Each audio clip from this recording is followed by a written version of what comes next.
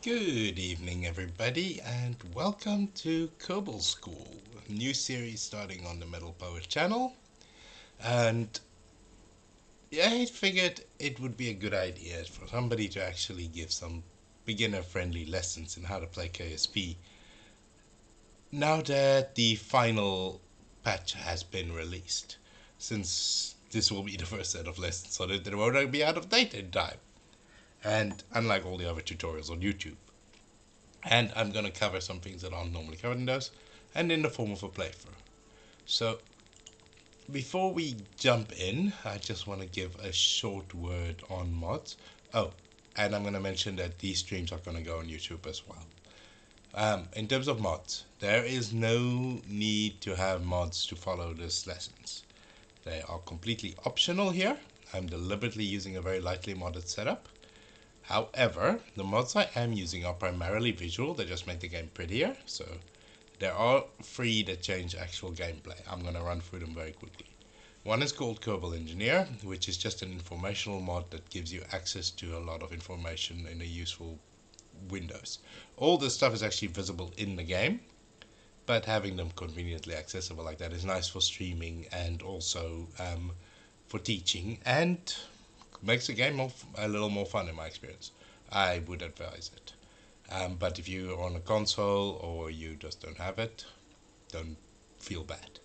The other is others are career evolution and planes of purpose. These are contract pack mods. Um, all they do is really streamline the career mode of the game. This isn't necessary if you don't have access to them. The normal version works fine. It's just a bit more grindy with a lot more detours, which don't really flow well for teaching or streaming. But if you prefer to play the vanilla contracts, that's fine. If you like the more streamlined version, that's fine too. Um, that said, if you'd like to have the exact same set of mods that I use, um, I created a CKAN mod pack, which I put on my Discord server, which is linked in the chat right now. So if you want to grab that, uh, mod pack, feel free. You can then install the CKAN software, which is also linked there, and instantly have the exact same setup I'm using, which is convenient. That said, if you don't have the game, I would highly recommend it. I bought it in 2013. Eight years later, I'm still playing it, and it's the most played game I've ever owned. It's not very expensive, even at full price, and it's often on special. Even with both expansions, it's not very expensive. Um, and it is the best value for money I've ever gotten out of a game. It is really worth it. It's a really fun game. It's really fantastic. It's educational, um, but it makes learning really fun. And as games go, I've never spent better money, like I said. So I would highly advise it. I would suggest if you can get it on PC rather than console. The console version is a little harder because this game really does play better with a keyboard and mouse. But if you don't have access to a PC, then needs must.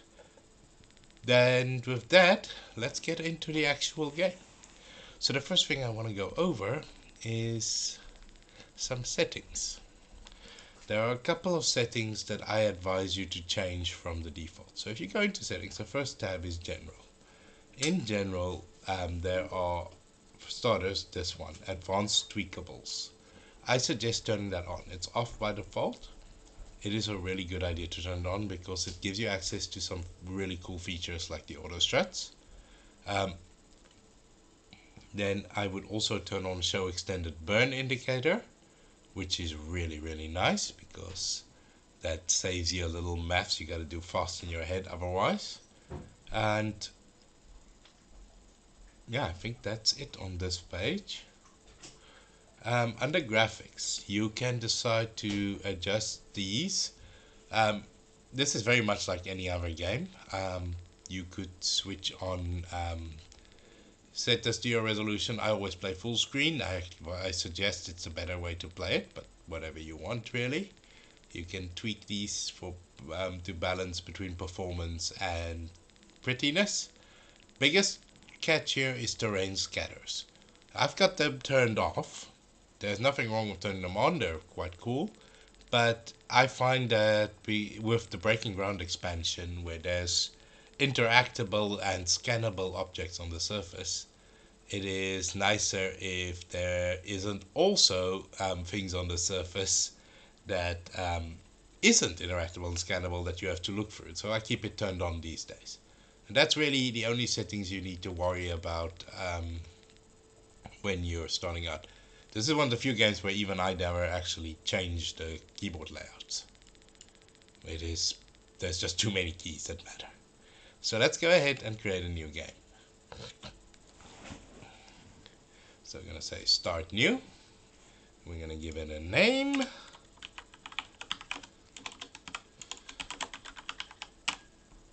And very importantly, pick a flag for our game. I've got a mod pack that adds more flags, but you can really um, do whatever you want. Gotta delete that Confederate flag from there. Wow, can't believe somebody would put that in. Uh,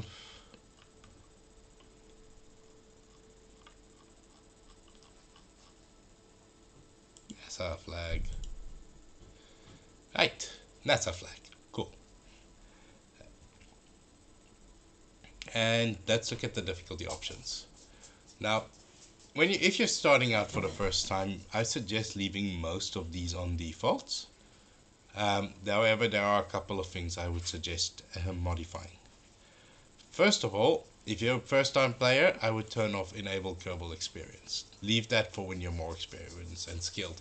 What that does is if it's off, then you have access to all the auto steering abilities that a skilled pilot should have from the start.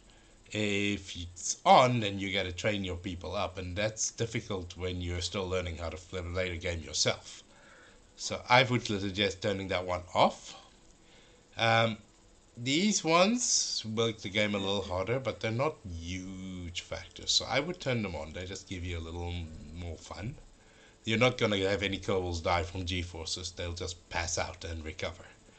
Then I suggest turning on these two. Require signal for control and plasma blackout.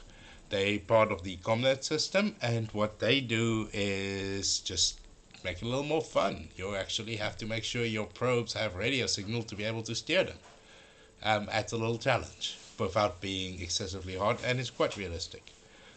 I would suggest leaving extra ground stations on, otherwise you have to build a radio network around your home planet and that's really not worth it.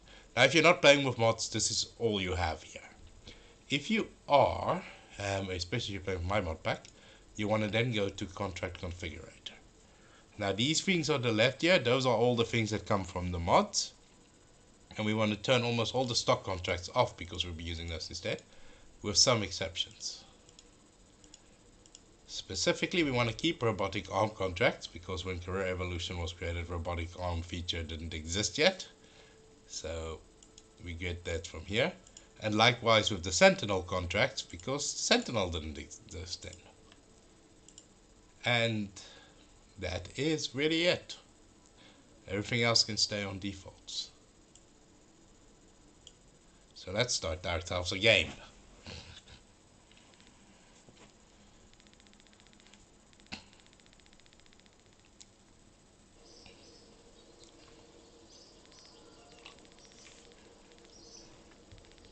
Now, when you come in, Gene Kerman, a reference to famous NASA um, senior Gene Kranz, will welcome you. And you can read that when you play for yourself. So, this is the Kerbal Space Center. Um,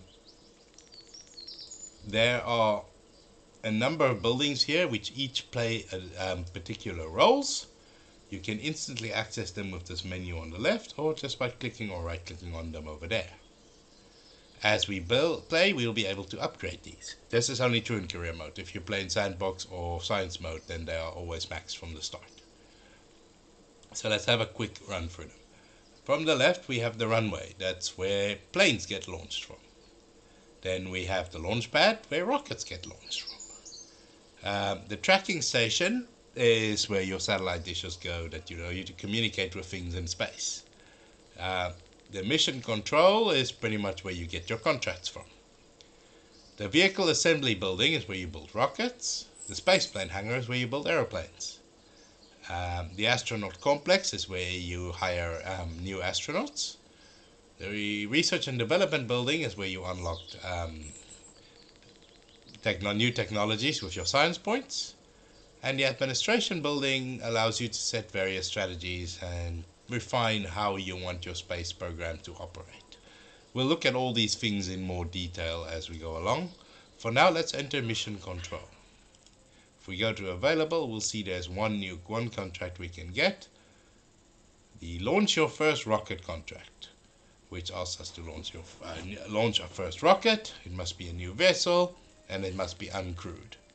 If you're playing vanilla, this will be um, a crewed mission. But otherwise, it's not significantly different. Now, the parts that you start out with should be more than adequate to do this mission. So, we can start with a probe core.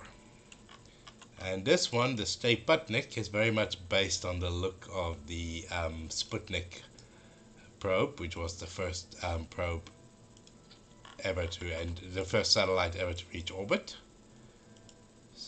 There's no fuel tanks unlocked yet, but we do have a small solid rocket booster. Now, having as you can see, these pieces just stick together like Legos. Those little green balls show you where they can stick.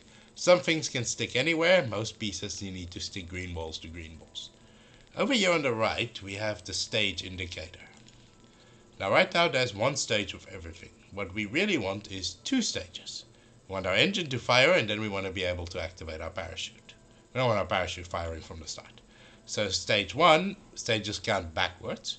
We'll fire our rocket and then when we're ready we trigger stage two and we enter our parachute. Now on the left here, various things are divided various countries. Let's go to the science category. And we can stick the thermometer and a barometer on which are the only ports we have unlocked. Those two are Kerbal Engineer parts, but they're already built in. That's it. Let's put a few of these on, like four. If I hit the X key, it changes this field here. You can also just click on it. That's the replication field. It's currently in four field replication, so any piece I put on gets placed on evenly divided in fours allows you to easily create um, symmetrical designs. Next to it is the is the snap feature. But if, if you put it on snap mode, then anything can only go in specific positions. If it's in smooth mode, anything can go anywhere. This particularly applies to these features up here, which we will go over in a little while. Um, but that allows you to control when you want to what type of precision placements you want to do. Now let's put some wings on because otherwise our rocket's going to be very unstable. Now we don't really need more than four, so if you hit Shift X, we can go backwards. Instead of increasing our symmetry, we reduce it by one. Now we've got a symmetry of three. That's left shift, by the way. Left and right shift do different jobs. So Currently we've been working in this in mode, the place tool mode. Next to it is the move tool mode.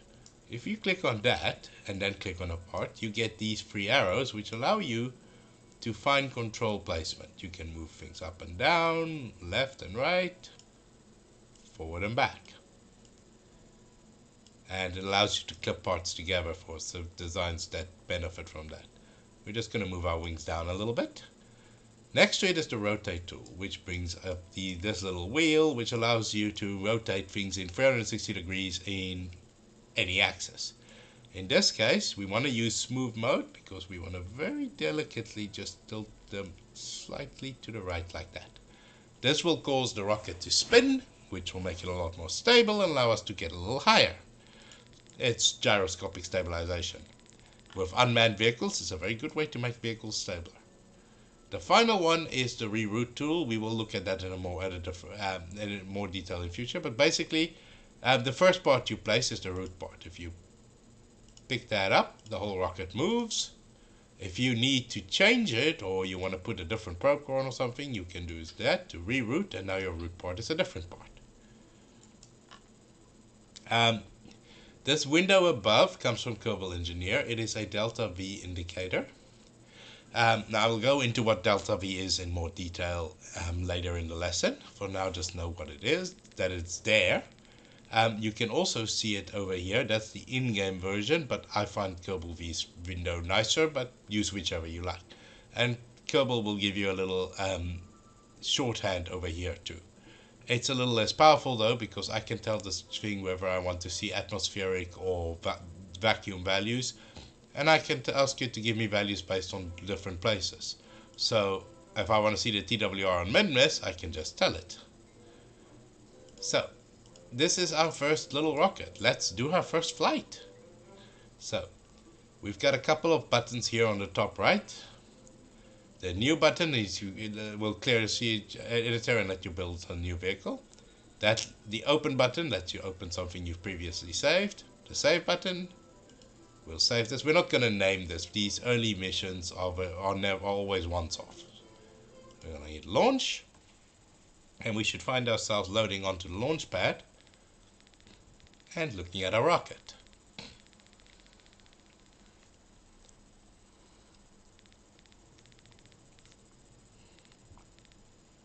Okay, now before we go on,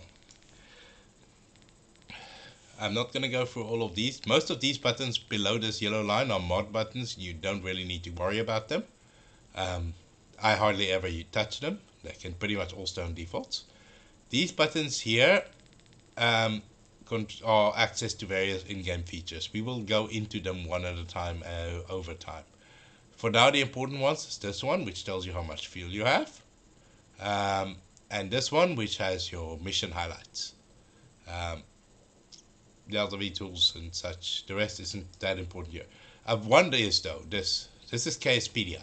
It's the in-game help, and it lets it has tons and tons of useful information. So if you need to look something up, this is where you can quickly do it, and it's available anywhere in the game. Now, by default, when you launch, you look at this screen here.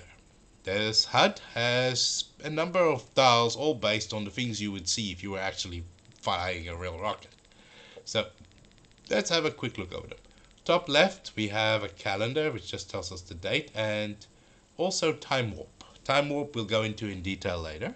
And next to that, an indicator of our network connectivity. This is telling us that we have radio signal and full control. Over here, we have a speedometer and an altimeter. It tells us how far, how high up we are and how fast we're going. Though you really only need to worry about the um, altimeter here. If you mouse over left, that will trigger your abort action group. We'll learn about that later. There's a button to switch on your lights, deploy landing gear, and deploy brakes. Down in the bottom, we have this big ball here. This is called the nav ball. Now, nav balls are based on, on a design that was actually used in real airplanes and still is to this day. Now, the real one is a mechanical device. It contains a magnet uh, inside a plastic ball that floats in a jar of water with that stuff printed on it. And because it's a magnet, it acts as a compass and rotates, so the ball always points the same direction as the plane turns. So you can tell which way you're flying. That's the heading down here, HDG. Um, but it also tells you if you're flying up or down because it's floating. Um, so ball very useful. We will learn more details about it over time. For now, the important bits to know is north, is, uh, you, when you launch will be at the bottom. East, 90 degrees to your right. Um, that's pretty much the most important. 180 is south, and that's at the top. And 270 is to the left, that's west. To the left of the screen, we have our stages, the same ones we created in the editor. And below that, the ready to go button. The rest of these things I hardly ever even use they're really not useful, all that important. So for now, we can hit the T key, which turns on SAS. That's just um, enables our auto steering capabilities. Then Z to max out our throttle. Now this isn't actually a factor because we're using a solid rocket and they are always at max throttle, but it's good to get into the habit because you won't always be using those. And then hit spacebar to trigger your first stage. Now we are flying. Now we can't really steer this one, we don't really have to because it's got the spin stabilizer, it'll steer itself. Now you'll see this started flashing at the top here, that's informing us that we have some milestones we achieved and we've completed our first flight contract. But we haven't done any science because we forgot. That happens. So grab one, try right clicking on one of the, okay, we'll wait until we're done spinning. Actually, this is a good time to show what you do when you make a mistake. Let's revert this flight. No, wait, that option, yeah, revert to launch. That's one of your options. Now, very often it's fun to let the thing crash before you revert, but if you haven't saved yet or anything, and if you haven't switched view vessels or something, you can use this option. So we can actually log the pressure data here on the runway. And log the temperature. And keep. Then I suggest, because we're going to want to do more, right click on another one and hit that little pin thumbtack, which means keep this, which will keep this open. And then for that one, that'll allow us do it while do another in flight. And then when we land, we'll want to do another. And we can do as many of these things open as we want. But I think that should be adequate for our needs. So now we can proceed with our launch again. So hit T, hit Z, hit space. You'll end up getting very used to those controls.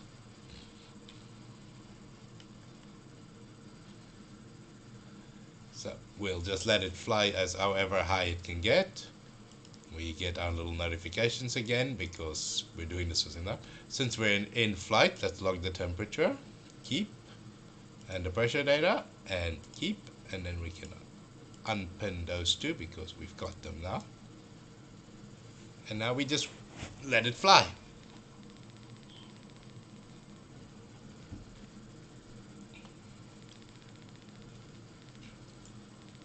Now you can see we're flying almost pretty close to perfectly straight. That's because of those that slight twist in the wings giving us this natural spin, which allows us to be much more stable than we otherwise would have been.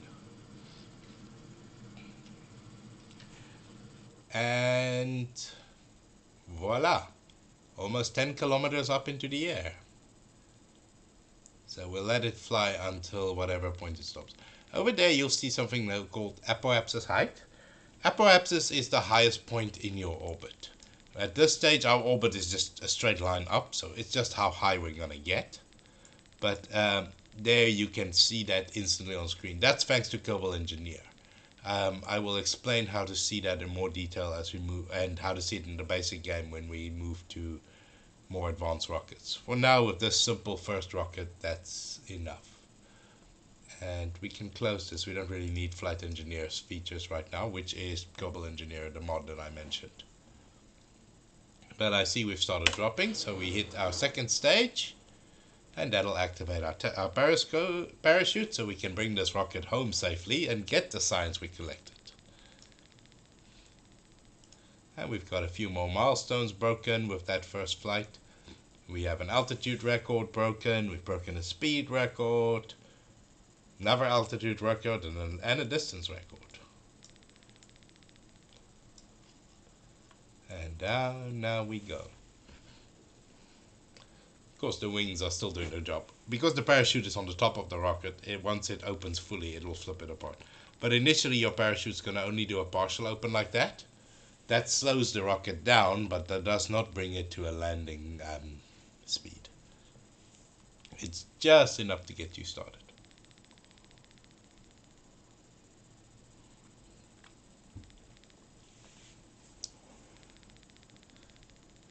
Basically, it's the first phase of the slowdown. That's really the way to think of it. By the way, this, this Merlot is delicious in case you were wondering.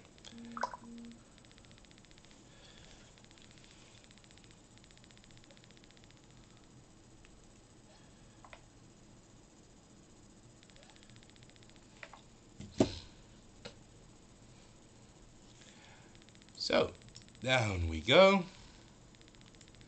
I'm hoping we'll have a little bit of a bigger crowd next time. But I guess two days before Christmas was not the best time to launch this, especially uh, having skipped twice. But I've been quite ill and I didn't want to postpone it again. And I'm finally feeling a bit better, though my throat's still sore. At least I can talk. And there we go, full parachute mode.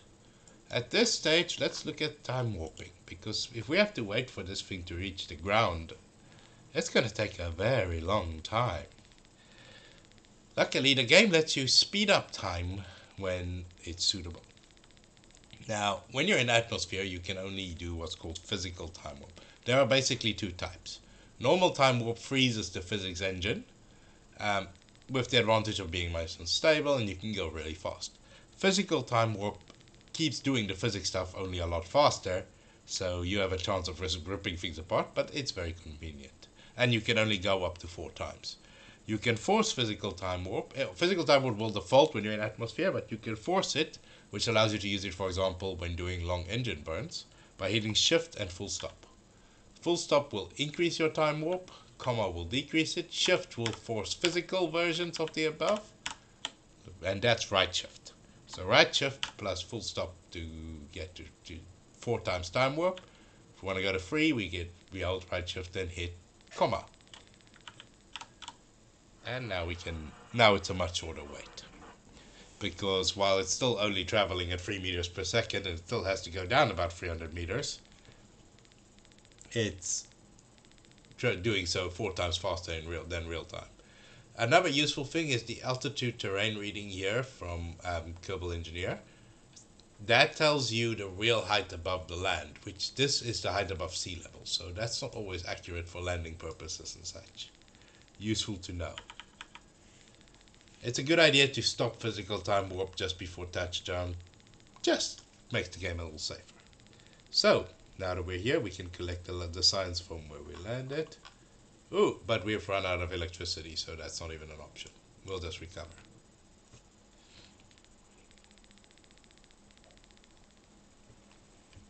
But we'll have a little bit of science now, which allows us to make a little progress in the game. And that's how it goes. You do science, use them to buy better technology, build better rockets and airplanes. So, now that we've got some science, we got 33 points We'll go here into the research and development building.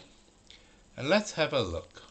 There's the basic vehicles option, which gives us a small wheel, some and some basic building blocks, including a battery.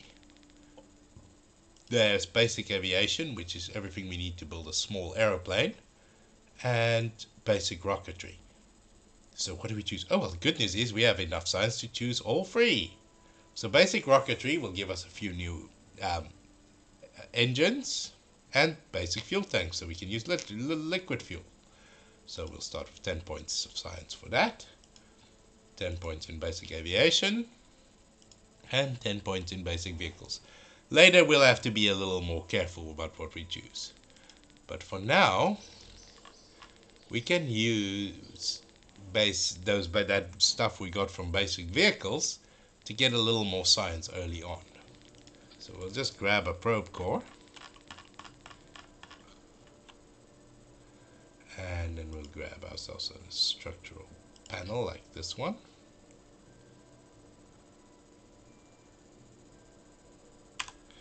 W rotates parts up and down. Q rotates around that axis, and E in the other direction, W and S up and down, A and D rotates like this. Worth knowing. Yes, Katie, there's a new KSP2 being worked on. The reason why I said 1.12 is the final update of KSP is because the KSP team has now joined the KSP2 team, which was originally done by a different company and a different but it's been delayed many times. Nobody knows when it's going to be due, and in the meantime, we'll play this. And who knows, it might end up sucking, and we'll come back and play this anyway. Um, but for now, yes, it is coming, but um, since it's not out yet and it could be years yet, I wouldn't wait for it. But that is true, they are working on a new version. And, hello, thank you for joining. It's nice to see you, Katie. How's it going? Okay, so let's stick some wheels on this. Now, when we're in the um, airplane building, by default it uses a different kind of symmetry, which is called mirror symmetry, where typically you can only have two times symmetry, but everything is perfectly aligned crosswise. This method, this type of symmetry is really useful when you're building aeroplanes. It's also really useful for building rovers like this, which is why I came and built this in here. Um, I don't know if they will. They might. It's also being built in Unity like KSP1. So the platform support is there, but um, the same concerns that that stop them from doing it with KSP might apply, which is that KSP has is quite heavy on resources for a Unity game. We'll stick some batteries on here because these wheels are electric. Um, so whether they'll be willing to take that um, risk, I don't know. Now this is about as simple as a um, rover can be, but it'll do for our purposes. Now we can, we've also unlocked basic flat solar panels. We can pop two of those on there, which means this thing can recharge itself. And then, and this is something I absolutely recommend you do if you play this game. We can stick one of each of those on there. We'll be able to redo this later with a crew team to get more, but for now we will stick to this. And then we're gonna want an antenna. we can pop it over there and we might as well keep it extended by default. That means we can transmit signs I'm not gonna name this because this is another once-off. We'll just do that so we can reload it and hit launch. This will because we built this in the airplane hangar it'll launch on the runway.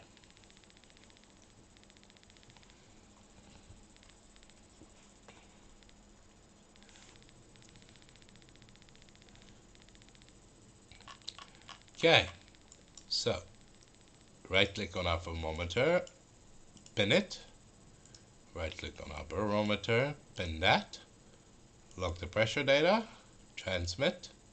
We're getting slightly less by transmitting than if we just received, um, picked it up, but it's worth it because this thing can drive around, so we can go to a lot of places here.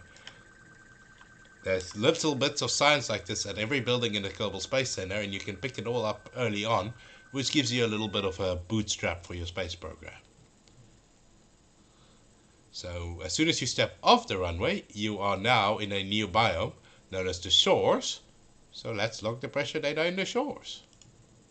And the temperature. And transmit. Doing this transmission uses up electricity. If we run out, we'll have to wait. Because, but luckily we got solar panels which can recharge. As soon as we finish, you can already see it's recharging so the bar is filling up again.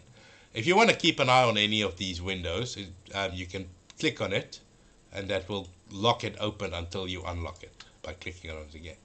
So we'll just drive straight ahead here. This is standard WASD controls. For the moment, those are the only controls you have to worry about. There are other controls that matter, but um, what you need to worry about for now is standard WASD for movement when you're in three dimensions, Q and E does rotation, which isn't it makes sense based on what are. When we get to translation uh, movements, I will explain those controls. But luckily, you don't need them that much if you know what you if you know a little trick that I will teach. But that's all for a future lesson. For now, as we reach, if we drive into the airplane hangars outside area, this is actually a new biome, even though it doesn't show up there. And there's fresh science here. So we can log this and transmit it, and then turn to the right, because there's several more buildings here.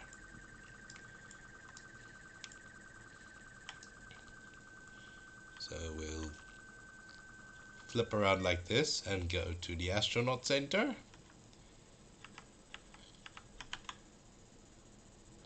Once we're inside it, we'll do the same thing. Transmit, transmit, and then move over here to the administration building. where I think we will want to stop and first recharge our batteries a little. Now we can speed through that a bit by time warping. Let time move a little faster and the wait for batteries to recharge is then much quicker than it would have been in real life.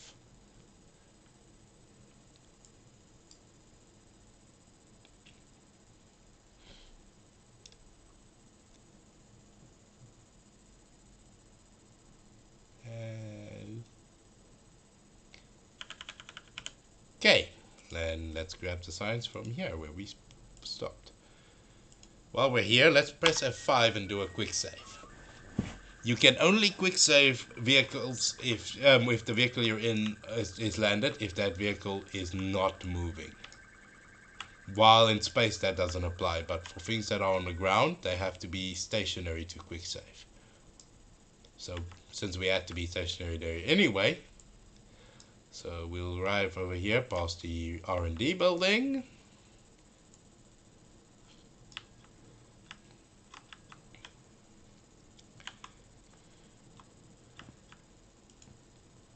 And grab ourselves some science.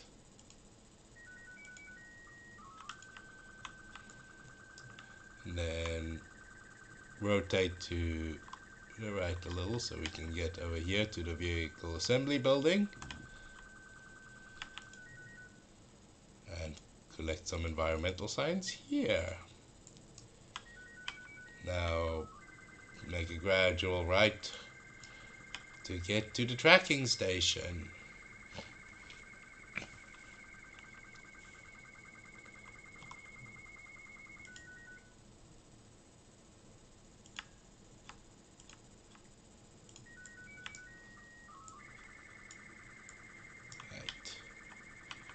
Finally. Sharp left. Move ahead. Hmm, we're almost out of battery again. We'll sort that out in a minute. This is the crawler way, which is pretty much the railway track set that is used to take your rockets. Whoops, I think we just lost one of our wheels. Luckily, oh no, we destroyed one battery, but we're okay. Let's just stop here and get recharged, which might require us to wait till morning.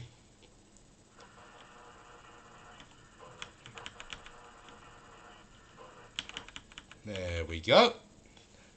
Remember, full stop and comma. Now we can get the science from the crawlerway.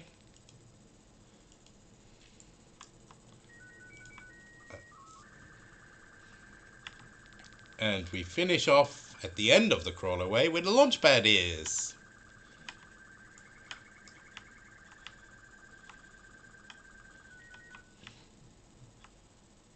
By the way, SAS also works on rovers, though they're not super useful. A little feature you can actually use is change the control point here. Some things have a forward control point and looks like the Stayputnik is on one of them when you have them, they're very useful if you're using a rover.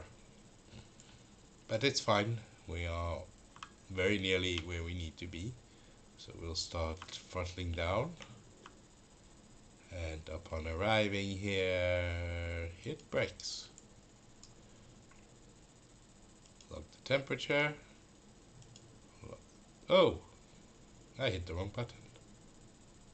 But there doesn't seem to be anything here anyway. Okay. And recover the vessel. Then will we get our money back, except for the one battery we blew up?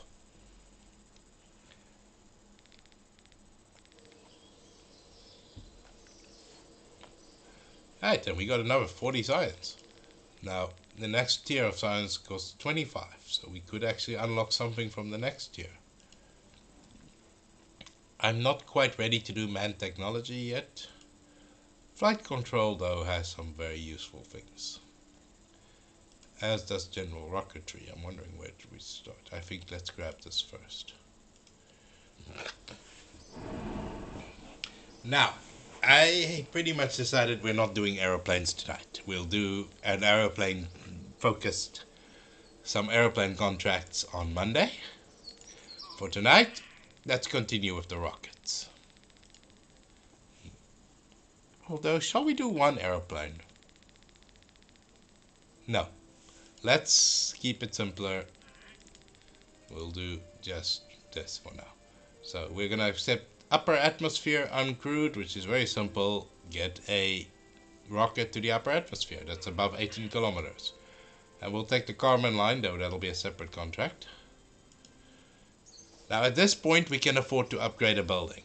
And I always recommend the first two you should upgrade to level 1 are these two, followed by here and here. But there's good reasons to do mission control first. Firstly, it lets you get more contracts. But secondly, you need mission control and tracking stations to unlock maneuver nodes, and you want those before you start orbiting.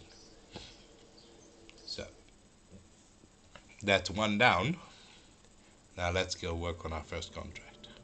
With the new parts we've unlocked, this should be quite a bit easier.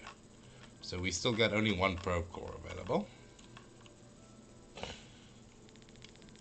Now we've got, at this point we should only want two of these because there's only going to be the upper atmosphere, we've got the lower stuff, and wherever we land. So that's fine. Two of each. And oh, we do have, we've unlocked decouplers. That's useful because it means we can do stage, we can drop stages. It'll be a lot easier to bring this back safely if we're not carrying a rocket around with it. Now I suspect that this is little longer solid rocket booster is all we need for this. That we will still need wings and we're still going to want to spin stabilize this. Just like the last one. So other than that it's very similar to the one we had before. Which is fine. Incremental progress is how you learn in this game. So all of what I'm doing now you saw just saw me doing before. So this should all look familiar to you. But do shout out if you have any questions. Okay, I'm not going to name this again. These are very much once-off sounding rockets. The only thing that's new is that our stages now have decouplers. So let's have a look at our stages quickly before we take off. So as you can see here, rocket is in one stage. That stage contains the decoupler and the parachute. You normally have two options. You can either put the decoupler and the parachute in the same stage or separate them. Most cases, you actually want to keep them separate so that you can trigger the decoupler before the parachute. In this case, we might as well keep them together because we're going to do everything in Atmo. So, with a little luck, this will be able to get above 18 kilometers. Let's find out. In space. There we go. We'll start spinning slowly at first and rapidly faster which should allow us to fly very straight up. And these are pretty much the last time you'll ever fly pretty straight up. But for these early sounding rockets, that is actually the way you want to go.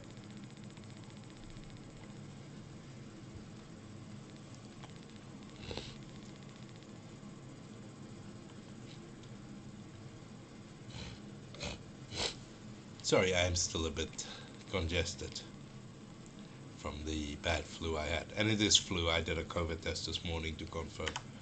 Oh, we're not just going to hit at 18 kilometers. We're going to leave the atmosphere. I wasn't expecting that. That's going to complete both contracts. Right, so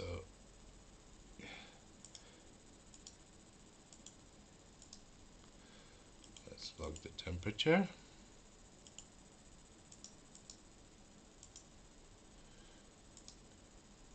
and the pressure.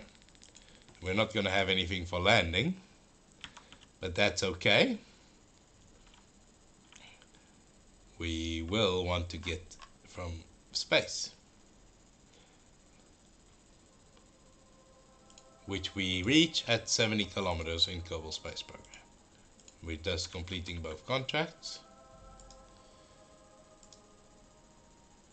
Uh, log pressure data keep. That's the one we already used. If I can just get a successful click on that. The fact that we're still spinning is very annoying.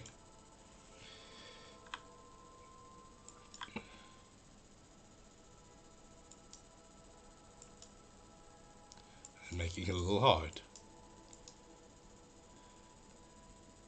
Okay, so that's the one we already used. We need the other one.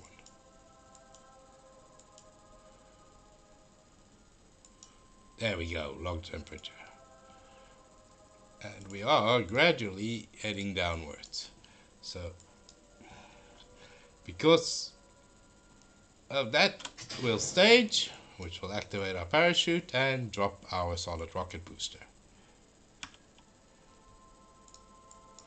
We can time warp up a bit until we hit the atmosphere, at which point we can switch to physical time warp as we wait for a fall that will hopefully land end in a soft landing. We don't have any heat shields or anything on this, but hopefully we'll get a little lucky. Or if not, we'll get our first explosion. There will be plenty to come. I think our parachute survived. Yay! That should be a successful mission. Well, looks like we're gonna land on the grasslands. We could have gotten that biome, but space is worth more, so not being able to get everything, I went for the more valuable one.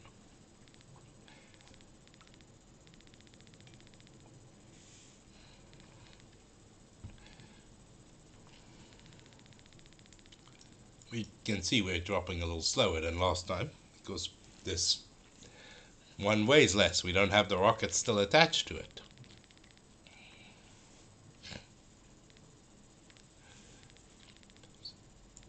We just pretty much over there, that little marker tells us where the Kerbal Space Center is. You can see we've drifted off a little. But that would be because the planet turns around its axis, and while we were in space, it was rotating. But we weren't in space very long, so we came down here. And we got both contracts with one launch. That is something that's always worth aiming for. If you can do multiple contracts with one launch, then that'll save you a lot of money. Because you don't need money, you can you you don't need money for multiple launches. So it's a very good way to play profitably and not run out of cash.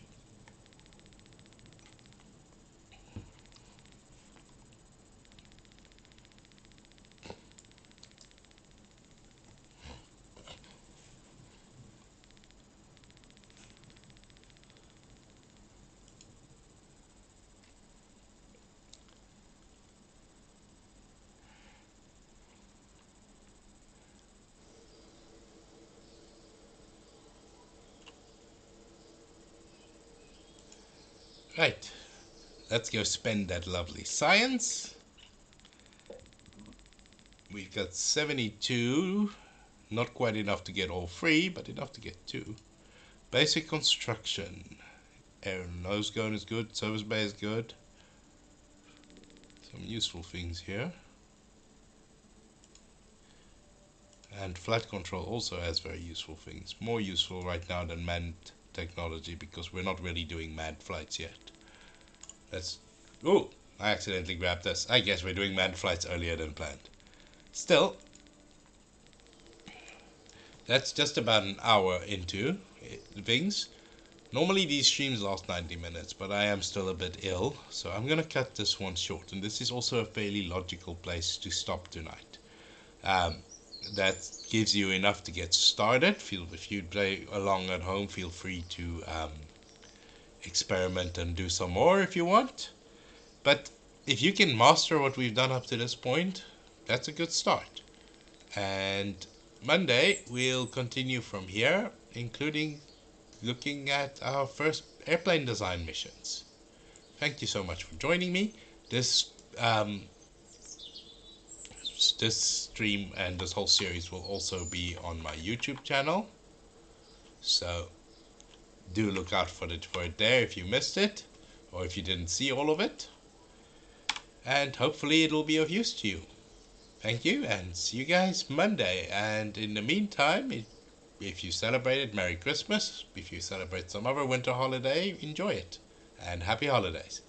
Goodbye.